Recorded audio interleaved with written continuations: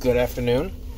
Welcome to 30 Minute Reviews. I am Adam. Okay, so, um, two movies we're talking about today. Um, we have my favorite movie of the year, um, The Invisible Man. And then we have, um, what, the, the Way Back, which I finally got to watch last night uh, with Ben Affleck. But first, let's talk about, um, news about the CW shows. If you if you listen to this podcast, you know I'm a big fan of what they do on CW. I love Flash. I loved Arrow, with the exception of season four. Um, I like uh, love Legend of Tomorrow. All of that. Uh, I'm loving Stargirl too. Um, I have not watched second episode yet, but uh, I like the first episode so far. Um, Batwoman um, I kind of fell off watching um, my schedule got a little packed. I didn't. I, I stopped watching. Uh, not that I'm not gonna go back to it now that it's on Netflix. Um, that and Black Lightning I need to catch up on. Um, season three of Black Lightning, and the episode, um, the second episode after Crisis, the one where they show off um, Beth from an alternate Earth. Um, now, as with all the other shows on uh, on not just the CW but other networks too, because of the coronavirus, they had to suspend production um, while they, you know, to prevent the infection of cast and crew. Um, so the show didn't quite get a proper season finale in the same way that you would in the past. I'd end like three episodes early, something like that. Um, it was announced last week, I think at this point, that Ruby Rose would be not returning for um, season what's called for season two onward of Batwoman. The show has been picked up for season two, uh, but Ruby Rose will not be returning.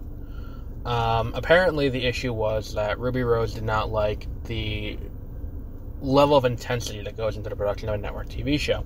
And if you look at her past filmography, that makes sense. She's done a lot of movies Orange is the New Black, The Meg, um, John Wick Chapter 2. Um, and while they may be lar- uh, roles, large roles in the movie, and she may have a lot of screen time, and while she may have a lot of going into production, it's not quite as intense as being the lead on network television show where you're putting in 23 episodes a year and you are you're the lead so you have a, at least half the screen time in most of the episodes that you appear in that's a lot of work a lot of memorization of lines a lot it's a lot of time to put into it it's also a lot of time to put into something and to constantly get attacked over and when i say constantly get attacked I'm referring to the fact that uh, since the onset of Ruby Rose being cast, she has just been mercilessly attacked on social media. Um,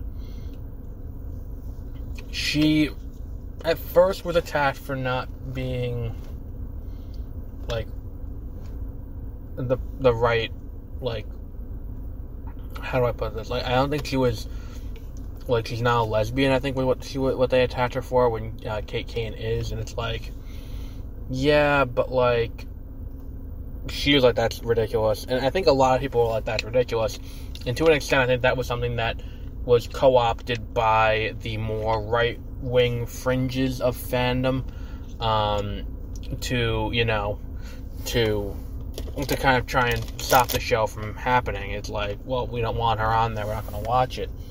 Um, and it's like, yeah, really, that now you're not gonna like, oh, you know, Ruby Rose the issue will cast someone else. You're gonna watch it then? No, you weren't gonna watch it either way. Um, and then it's like, um, she did like that happens with, um, and then anytime anything happens, it's too social, it's too SJW, it's virtue signaling, it's too like you know, too political. Um, the political aspect of it is the fact that she's a woman and she's not straight. That's what they consider political. That's not political. That's just someone existing. Um.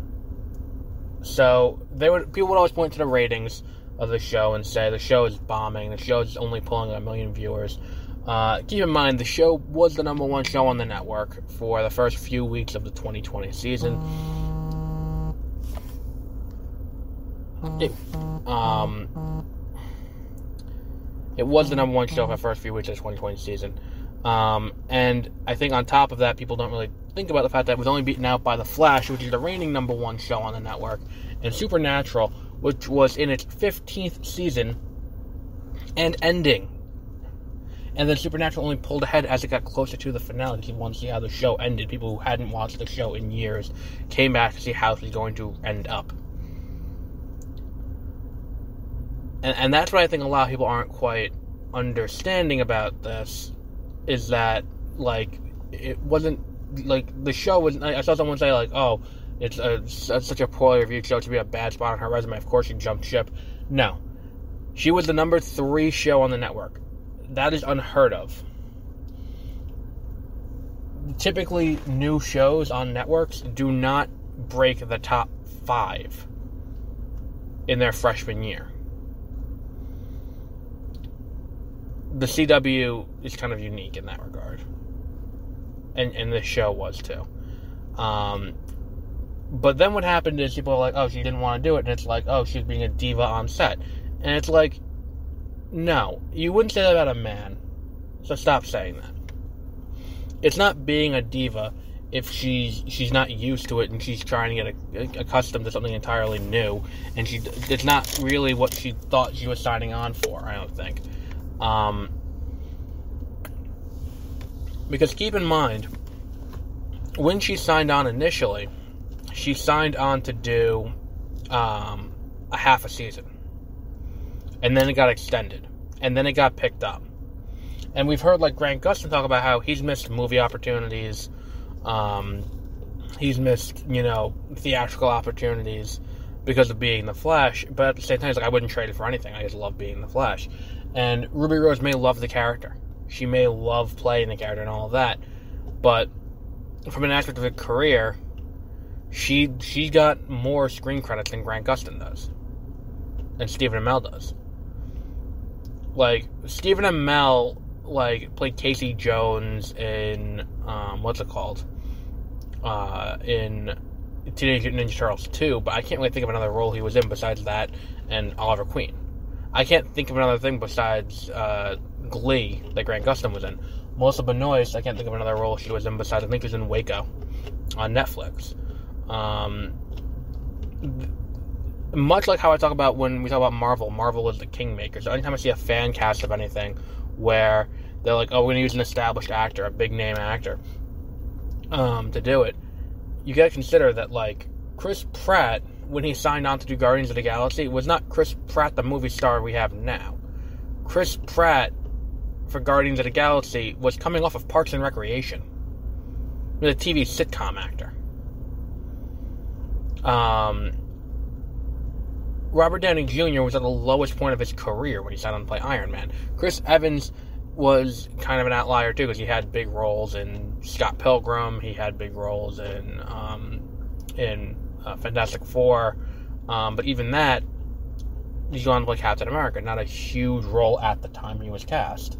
Um, Chris Hemsworth was nobody before Thor. Tom Holland, nobody before Spider Man. Um, Andrew Garfield was nobody before Spider Man. You want someone with minimal screen credits walking into their role. You don't want someone who could possibly walk out and you have to recast. Um, and I think that like when you see things like, oh well, they cast Benedict Cumberbatch as um, what's it called? They cast Benedict Cumberbatch as uh, Doctor Strange. That was kind of an outlier. You don't really see that happening when you take a big name. Like at that point, he had Sherlock under his belt, and he was a big name. Um, but even then, he wasn't headlining movies. Um, in the way that, you know, he wasn't headlining blockbusters. He wasn't a box office draw. As evidenced by the fact that Doctor Strange kind of underperformed, despite being a really good movie. Um, so I, I, feel like there was a lot going into it. But to say that she was being a diva or to, or to, to, attack, to attack her like that is just ridiculous. Just don't. Like, in all honesty, if she doesn't want to be there, it's better she do that than do what Carlos Valdes has been doing on The Flash, who he visibly does not want to be there. He's been phoning it in for the last at least two years. Like, he comes in, makes his little quippy remark, laments the fact that he's not Vibe anymore, and that's his screen time for the episode. But he visibly does not want to be there. But the thing is, he's too connected to the role now that you can't really recast him. You can recast her. There are other people who can play the character. Um, yeah, you're going to lose some of the audience because I, I, know personally one of the people from work who I work with who started watching the show, she started watching it because I said, hey, Ruby Rose is in it. And she's like, oh, I love Ruby Rose. You're going to lose some people because of that. You're going to lose, um, but you know what? I, I, think that it's, you know, it's better for the longevity of the series um, that Ruby Rose is gone because I'd rather, in the same way, I don't want Ben Affleck back as Batman. Um, it's obvious that they aren't happy doing it. And while I may like them in the role, it their personal mental health um, and their personal, you know, their personal health is substantially more important than um, than than my person than you know who I want to see in a role if it makes them unhappy, why? Like, who am I to say they should force themselves to be unhappy for my benefit? So I wish her the best, and I'm looking forward to see who they cast in their role and see where they go from here. Um, so, and, and by the way, they're not going to do multiverse shenanigans. They're not going to do anything like that to uh, to to introduce a, the new character playing Batwoman. It's just going to be like soap opera style. Like the role of Kate Kane is now being played by whoever they cast, or like uh, Iron Man Two, where they just kind of you know uh, they just kind of cast someone. You know, they, they recast uh, Terrence Howard as Don Cheadle, and kind of just didn't acknowledge it. Um, where it, or they're not gonna like you know kill off Kate and replace her with someone else taking on the cowl. It's going to be the same character doing the same thing. Um, so let's talk about this week's movies. Uh, this week's movies, we're going to talk first about The Invisible Man. Um, I'm not a big horror fan, but I am a fan of the Universal Monsters. Um, because the Universal Monsters kind of come from an era where when we talk about science fiction, I think I talked about this a few weeks back when I talked about um, Heir to the Empire too. Um, when we talk about science fiction, um, at the time it was designed to be uh, cautionary tales, and, and, and all science fiction um, is typically is you know at its core a cautionary tale about why shouldn't you do whatever it is you know that they're doing. So like in Heir to the Empire, well, in in episode four of Star Wars, I mentioned the Clone Wars in passing, but never went any deeper into what it was. Heir to the Empire comes out before the prequels, and they discuss the um, the Clone Wars as you know someone with a cloning facility um, cloning an army and trying to take over the galaxy, and the Grand Army of the Republic has to stand against it. Now, that's not what happened um, in the, the in the movies as established, but it's an interesting way because at the time the book came out, cloning was a topic of conversation, and people were afraid of what would be the downside of cloning, and that would have been an interesting way to go in the movies. And I'm disappointed we didn't get that. Instead, we got banking clans, secession movements, and all of that, and, and, and with another, you know, what what basically is another galactic civil war. Um, but you know, I digress. Now, Frankenstein. The moral of the story is don't you know, don't uh, don't play God. And that's what a lot of these are. Don't mess with things you don't understand because there could be ramifications you don't know. The mummy don't, you know, you don't know what curses could be could be there. The creature from the Black Lagoon came from fears of searching the deeps of the ocean. You may find something down there that's you know homicidal. Uh, the Invisible Man, uh, in this regard, is a very good telling of that story because it's a te- it's telling what's the worst we could do with this technology while at the same time also, you know, making it timely and relating it to people in a way that makes the most sense. Um, it, it's something that you can see happening in everyday life, where it's like it's a, it's a at its core, it's a story of a stalking, abusive ex, uh, ex boyfriend who's emotionally and physically abusive to um, to someone, and um, this is hands down the best horror movie I've seen in a long time. Um, before anyone gets up in arms, I have not seen Us. I have not seen Get Out. I have not seen A Quiet Place. Let me get that out of the way right now. Uh, so, having not seen those, this is the best horror movie I've seen in a long time. Because what it is, it's not paranormal horror, where this is something where, you know, it's, it's horror that takes place in the near future with technology that could someday exist, like, you know, nearby. Um, and it's it's so well done, um, where you you feel the fear through the entire movie and the dread. And I think that's what makes good horror work is it builds on a sense of dread that we know something's coming. And it when it when it gets there, it's going to and you know something bad's gonna happen. And it, it it's there. Also, I like the way they showed the Invisible Man uh, and what the suit was with all the with all the cameras. Is because of that, it it took on a kind of like it, the suit when you can see the suit and you can see him in the suit, he still doesn't look human. So it still looks like even that looks um, weird. And I think that this is a really good way to do the Dark Universe. And had they done this in the beginning instead of making the Mummy as basically a uh, a Tom Cruise action movie, had they let off with this and then do a Frankenstein movie that's something similar, um, do a Dracula movie, something similar, because the story of these shouldn't be, um, shouldn't be, here's a monster, let's kill it. It should be, here's a monster, here's why it's a monster, here's how we cause the monster to exist, let's kill it. Um, so I'm looking forward to see because I know Blumhouse is now handling more of the Universal monsters, like the Wolfman and Frankenstein, Dracula, and the Mummy, the Creature from the Black Lagoon. Um, it, it's going to be interesting to see how this plays out and how it how it goes forward. Um, I, I I've just really love this movie. If you've not seen this movie, it's available on DVD now. You can go to the Walmart and pick it up. Um, definitely worth your time watching. Um, I mean, the the premise itself hooked me in to the point where I saw this movie in theaters. Um, and and to be honest, I don't see horror movies in theaters. I'm a pussy. Um, and I went and saw this in theaters. Um, but it is so good. Um, you have to check this movie out if you haven't seen it. Now, on the other end, um, this is a movie that's not quite. Uh, uh, we have The Way Back. The Way Back's a very straightforward story, I thought, until we got to the end of it. Um, and and let me get it out of the way. This movie is carried on Ben Affleck's very broad shoulders, um, because he puts such a tremendous performance in, in this movie. And I, I didn't mention um, Elisabeth Moss' performance in the last movie. I feel like that's an, an injustice.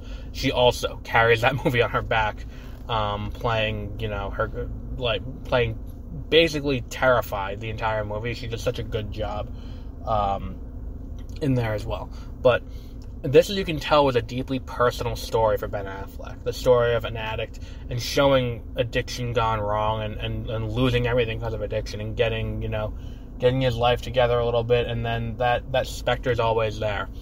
And it comes back and, you know, it takes from you.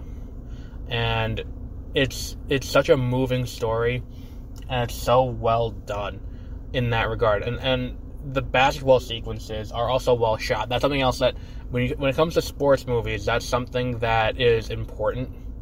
Um, to me at least, I want well shot sports action. I don't want view like I'm watching it. I want to feel like I'm on the court, and this movie does that very well. And despite the fact that basketball takes up very little of the movie, um, one of my favorite sequences in the movie is the uh, the game that they're they're playing. They come from behind to win because it's so fast paced and rapid fire with how it works uh, in that sequence that when you get to the uh, that you you like it's not quite Creed when when Rocky goes you're gonna get out there and you're gonna knock him down. We'll call that a win for you. Um, and you know it, it, it's like that that's what you want. You want to feel the adrenaline that the players feel and that's what this movie does. You get that from this. Um, and the story is kind of bare bones because you have the alcoholic he wants to get his life together and he you know he gets a job. He doesn't want the job but he takes it anyway as as a coach of a high school basketball team. And it, it, it's cool in that regard. Uh, and then he he relapses, which is in a story like this not something you usually see. You don't usually see the relapse. You see him recover, and you see him recover alongside the team. The team's doing better, and you know, and and you know, he relapses anyway because life still happens, and, and that's what happens in real life. And you can t- you can tell that this was um, what I, what I was thinking of when I was watching it is Judy Garland in um, the 1954 A Star is Born, where she like uh, with when she talked about overcoming addiction and all of that, and she talks about how um, she's afraid he won't go to love her. She was uh, uh, love her husband when when she uh, when he you know when he recovers, he's got the alcoholism. Um, that scene where she's you know she's backstage and she's sobbing and she you know puts her makeup back on, cleans herself up and goes out and performs. Um, that's what I was thinking of through this movie. Is that this is a character that they don't have to like that like is so deeply intimate to who they are as a person. Because they were that person that you can see them really dig in deep and really pull it in. Because it's very easy for someone to compartmentalize that part of them if that's them and then like you know have to play it like a role. But this is, there's a level of I keep saying intimacy but it's there's a level of intimacy to it where he's letting you into that part of his life and showing you what what's it called? And showing you what um, what it was like for them. Um, and it, it's just beautiful. Um, it's not as good as The Invisible Man as a, as a movie on a technical standpoint. Um, it's just like kind of like most of the story until you get to the ending, it kind of gets bland. And then when you get to the ending, you get to uh, you, they kind of fast track his recovery. But I, feel like the movie, and, and, the thing is, I'm a big fan of the hour forty movie. Um, if you listen to this podcast, you you know you know you know that. If you if you can get me in and out of a theater in an hour forty, I'm you are my best friend. Um, especially if the, if the movie works. But the issue is, it, it does like it could have benefited from a little extra screen time. And it was there's another movie I watched recently that I feel could have done the same thing. A Mighty Wind. I watched recently was another movie that I felt could have done that, where it's like a little more character development, maybe like an extra 10 minutes, 10, 20 minutes could have done done wonders for the movie. Um, but like, it, it's so well done. Uh, if you have not seen either of these movies, definitely check them out. Uh, definitely worth your time to watch. Um, and with that, we are done for today. Um, we'll be back next week. We'll be doing two movies next week as well. We will be doing uh, Justice League Dark Apocalypse War and Superman Red Son. Uh, both of DC animated movies that were put out this year. Um, if you follow me on Twitter at 30 Min Review, um, between now and Friday, uh, tomorrow, uh, Friday the 28th, if you retweet, a tweet on my Twitter account, uh, I'm giving away a free copy of The Invisible Man. Um, so, if you uh, want to enter that, follow the account and retweet that um, before tomorrow night at 11:59 p.m. Uh, Eastern Time, um, New York time. So until then, we uh, have a great rest of your week. We'll be back with another uh, uh, another great episode next week of talking about DC animated movies.